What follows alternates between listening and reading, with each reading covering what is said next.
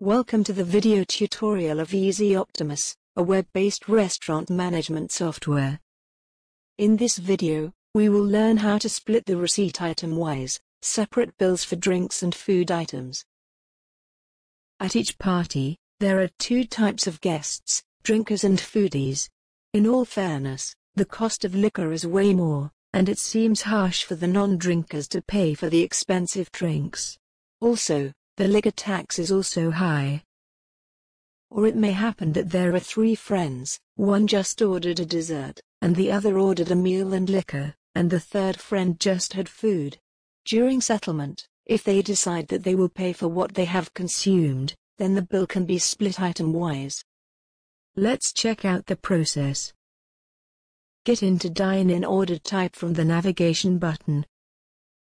Select the table. Select the order.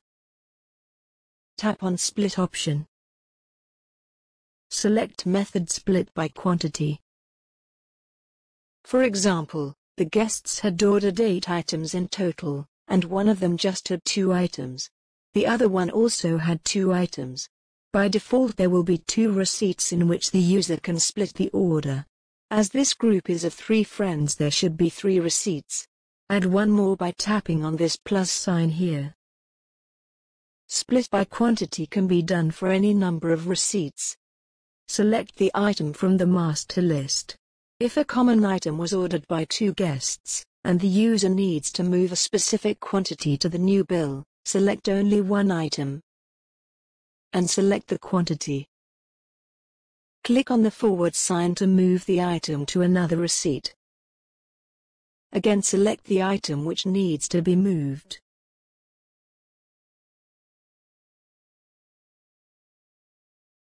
If any mistake occurs, use the undo or reset option and start from the beginning. Click on Save to split the receipt. To split a receipt created in takeaway order type, go to the Order Summary section from the navigation button. Select the receipt, Select Split option and follow the same steps as seen earlier in Dine-in order type.